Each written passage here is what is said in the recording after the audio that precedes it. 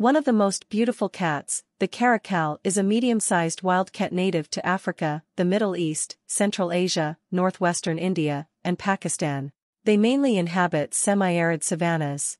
Because of their tufted ears, they are sometimes called the desert lynx, but they are not members of the lynx family. They are closely related to the African golden cat and the serval. Their coat is reddish or sandy with white undersides. They are solitary animals that come together only during mating season.